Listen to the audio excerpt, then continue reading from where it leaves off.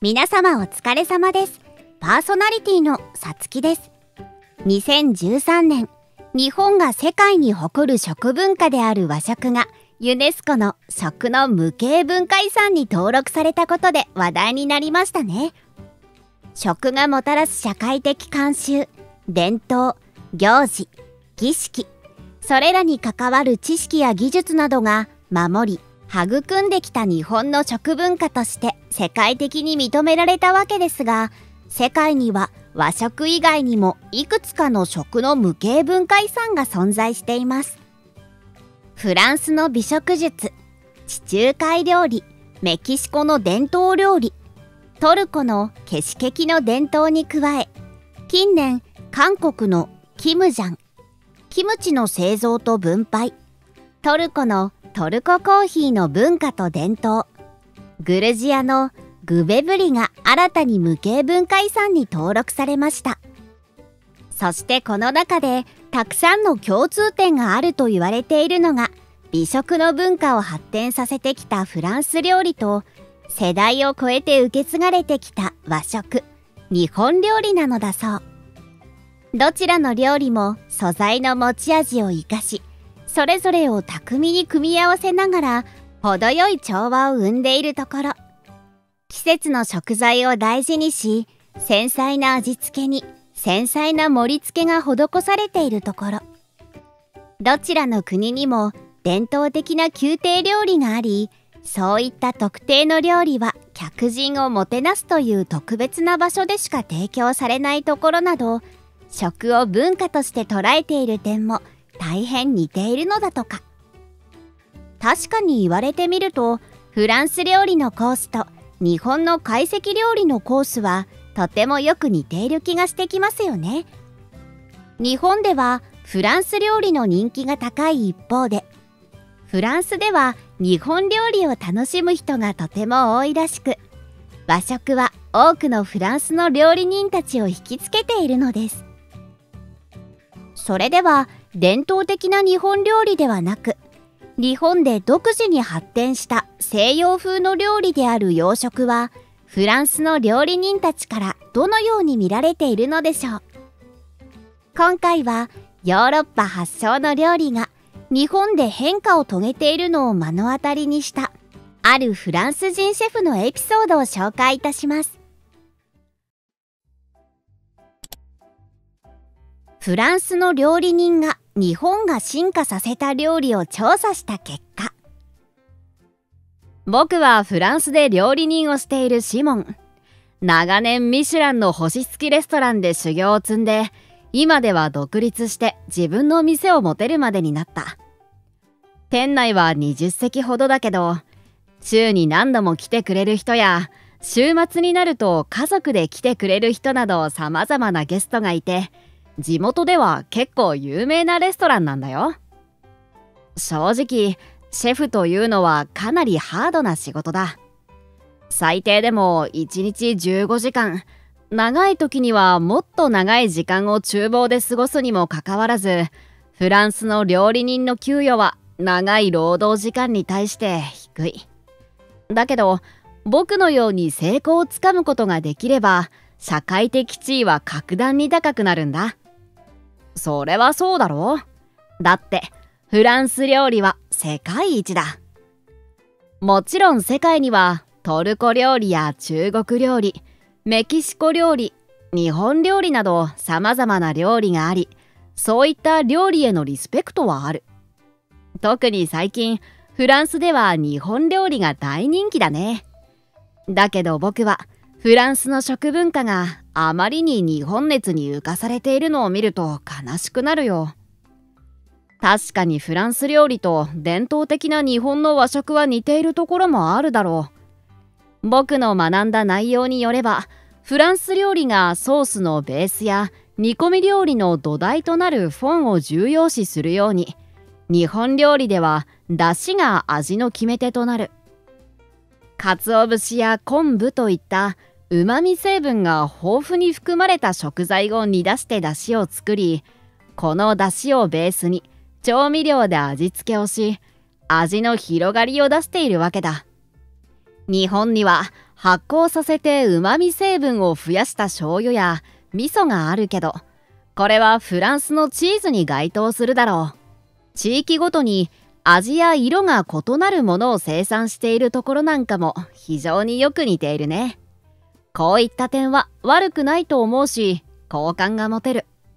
ただ調べてみると日本にはフランスをはじめヨーロッパ発祥の料理もいろいろと伝わっているよね。僕はまだ実際に食べたことがないから何とも言えないんだけどこれって完全に別物になってしまっていないかい？日本のクロケットコロッケは主にじゃがいもが使われているらしい。なぜだ？理解できない。まあフランスでも少しのじゃがいもを加えることはあるが一般的には他の野菜や魚なども入れてベシャメルソース小麦粉とバターで作られたルーを牛乳で溶き煮詰めて作られた白いソースと混ぜて円柱状に形成することが多い。クレープも日本ではかなり奇妙なことになっているね。こんなに大量のクリームやフルーツと一緒に食べたら生地の味が全く楽しめないんじゃないだろうか驚愕したのは日本のナポリタンだスパゲッティにケチャップとは、なんということだ。イタリア人はさぞ怒っていることだろう。僕はこれまでいろいろな国に行って現地の料理を食べてきた。だけど日本にはまだ行ったことがない。本場の和食に興味はあるが、それ以外の日本の料理にはどうも惹かれないんだ。フランス人からすると邪道ではないかと思ってしまう。フランス料理は世界一。故にフランス人はね、ちょっと変わった食べ物を食べるのは大好きだけど、あまりに常識からかけ離れている食べ物は拒否する生き物なんだよ。あと、こんな文章を書いたのが約1年前のこと。この時点で僕が日本へ行く可能性はなかった。だけどそれが変わったんだ。僕が昔から知っている料理人仲間のジルが日本へ行ってきたらしい。感想を聞いてみると過剰ではないかと思えるほど日本の料理を絶賛していた。日本の店で朝昼晩と食べて僕はすっかりあの国に恋をしてしまった。ありとあらゆるものを試したよ。大衆食堂も高級レストランもね。僕がいくら説明したって君は納得しないだろうからとにかく君も日本へ行って実際に食べてみるべきだ古くからの友人にここまで言われてしまったら日本へ行かないわけにはいかない日本の料理が本当にそれほど素晴らしいのか僕は確かめに行くことにしたんだ日本に着くと僕は東京へ向かった。実はね東京は世界で一番ミシュランの星付きレストランの数が多い都市なんだ。パリよりも多いんだよ。ちなみに説明しておくとミシュランガイドとはフランスにあるタイヤメーカー。ミシュラン社が毎年発行しているガイドブックだ。世界的に大きな影響力を持つ美食ガイドブックで優れた料理を提供するレストランには最高点を3つ星とした星がつけられる。東京の星付きレストランはやはりフランス料理と日本料理が多いね。フランス料理へのリスペクトを感じられるよ。食材の鮮度に対する日本人の病的とまで言えるようなこだわりはフランスでも伝えられている。だから日本の高級レストランが素晴らしいのは容易に想像できるがジルは日本の大衆食堂にまで恋をしたと言っていた。僕には奇妙な料理にしか見えなかった。日本の大衆食堂で出されている西洋風料理の数々。恋をしたとはにわかには信じがたい。ジルは舌がおかしくなってしまったんじゃないかと疑ったほどだ。もし本当にそうならどうにかしてあげなければこの時の僕にはそんな使命感もあったんだよ。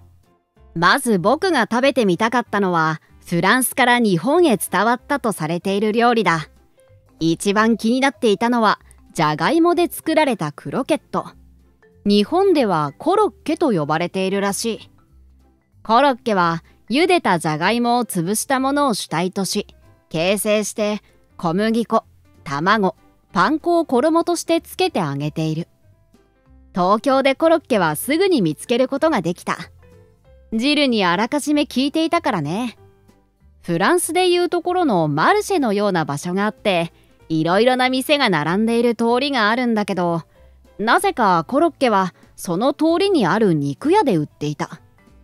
コロッケ一つとなんとか日本語で伝えると店員さんは笑顔で対応してくれてなんだかフランスでは感じられない優しさがあったね。買ってその場で食べている人が何人かいたから僕もそれに倣って小さな紙の袋に入れられたコロッケをかじってみた。揚げたてで外はサクサク中のじゃがいもはホクホクだ。なんだこれは美味しいじゃないか。しかも何のソースもかかっていない。少しの調味料は使っているだろうが完全に素材の味で勝負しているところに大きな衝撃を受けた。フランスだってじゃがいもの消費量はかなり多いし僕だってもちろん大好きだ。ただ王道の組み合わせはじゃがいもとチーズ。こんな発想はなかった。日本のコロッケも全然ありだね。続いて僕はクレープの露店を視察した。フランスのクレープは生地を平たく折りたたみナイフとフォークで食べる甘いソースをかけたクレープの他に塩辛い生地にチーズやハム卵などを一緒に包んだガレットもあるよ。だけどどちらも具材を楽しむというよりは生地を楽しむという感覚だ。家やレストランで食べることが多くて日本のように露店で買って外で食べることは珍しい。日本のクレープは大量のフルーツやホイップクリームを生地にのせて最後にくるくると巻いて円錐型にするんだよ。僕は定番だと言われているチョコバナナクレープを食べたんだけどこの食べ方はとてもいいアイディアだと思った味も良かったね生地が柔らかくて甘い具材とよく合っていたホイップクリームも甘すぎなくて食べやすい。僕は以前日本のクロケットやクレープをネガティブな意味で別物だと言ったがこれは訂正しよう。確かにフランスのものとは違いがあるがこれはこれで日本で完璧に完成された素晴らしい一品だ。汁は舌がおかしくなったわけではなかった。日本には本当に様々な西洋風の料理があったよ。オムレット。オムレツの中に味付けされたピラフのようなものが入っている。オムライスはユニークだった。オムライスにはケチャップがかけられることも多いらしいんだけど僕が食べたものにはソース・ドゥ・ミグラス。デミグラスソースがかけられていたんだ。フランスで生まれたソースなんだけどね。もう今のフランスでこのソースを使うシェフはほとんどいないからまさか日本で出会えるなんて思ってもいなかったよ。これは僕が大好きな料理の一つになった。日本風にアレンジされているデミグラスソースはビーフシチューやドイツの肉料理をルーツとするハンバーグなど様々な料理に使われているようだった。日本に来て数日もした頃には僕はすっかり日本での視察が楽しくなってしまっていた。昔ながらのフランスの料理が日本で生まれ変わっているような感じがすることもあって嬉しかったね。日本のモンブランも良かったよ。モンブラン発祥の地はフランスだと信じているがイタリアだという説もある。モンブランという山はフランスとイタリアの国境に位置しているからね。それぞれの地域の人々が地元にある山モンブランをイメージして作ったのが始まりだと言われている。フランスのモンブランは色合いが濃い茶色でドーム型。イタリアのモンブランはとても薄い茶色で三角形なのが特徴だね。そして僕が食べた日本のモンブランは黄色かった。少しびっくりしたけど味は美味しかったよ。栗のペーストメレンゲ生クリームシロップ漬けの栗。すべてのバランスが絶妙で最高のデザートになっていた。興味深かったのは日本ではバームクーヘンがかなり一般的なお菓子になっているということだ。コンビニやスーパーお菓子屋などほとんどどこでも買うことができる。バームクーヘンはドイツの伝統的なお菓子だけどドイツでは手に入る場所が限られていると思うな。基本的にドイツのバームクーヘンは職人の手作業で作られている。機械で大量生産なんてもってのほかだ。教会の規定に反する。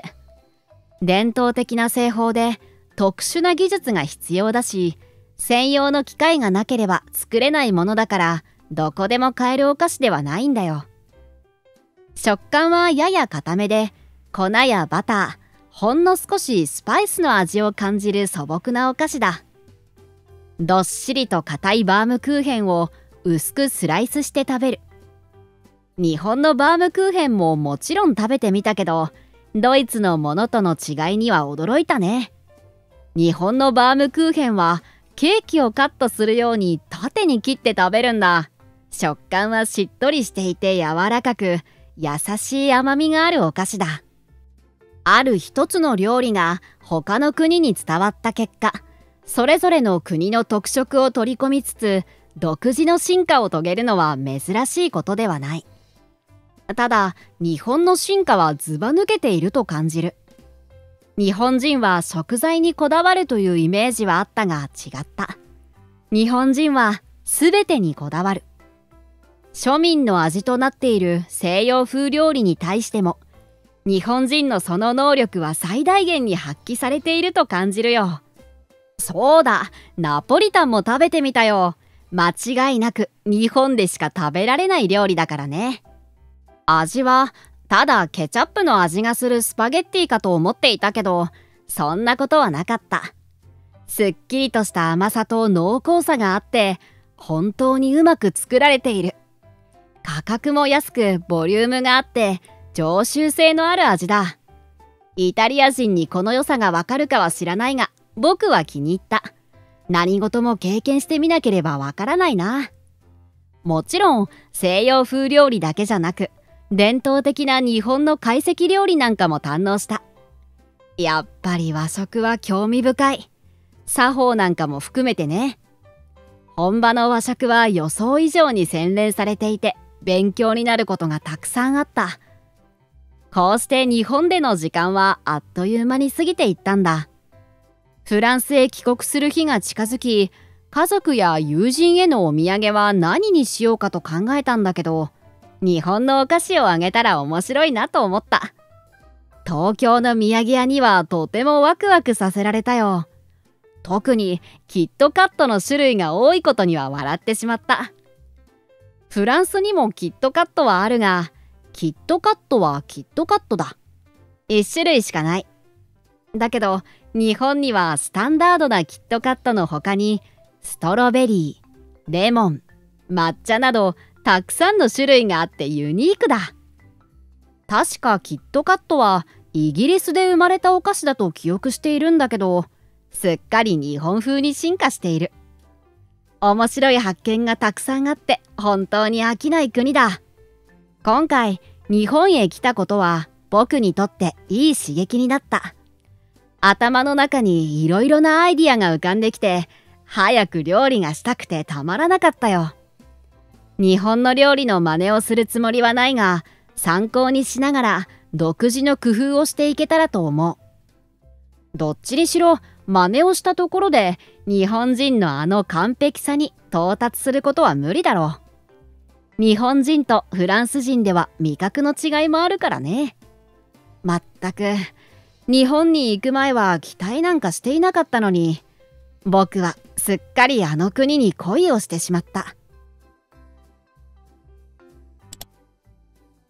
エピソードは以上のような内容になっていました。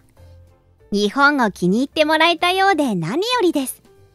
このシェフが作るフランス料理をぜひ食べてみたいですね。日本の洋食に興味を持つ外国人はたくさんいるようで、関連投稿には海外から様々なコメントが寄せられていますから、そちらも簡単に紹介いたしましょう。海外の反応。なぜ日本の職人はこれほどまでに高度な技術を持って食べ物を扱うのでしょう。他の国にはあまり見られない特徴です。イタリア。ドイツ人なのに一度もバームクーヘンを食べたことがないよドイツでも普通に手に入るようになってほしいな。ドイツ。日本のとんかつが忘れられなくて自分で作ってみたんだけど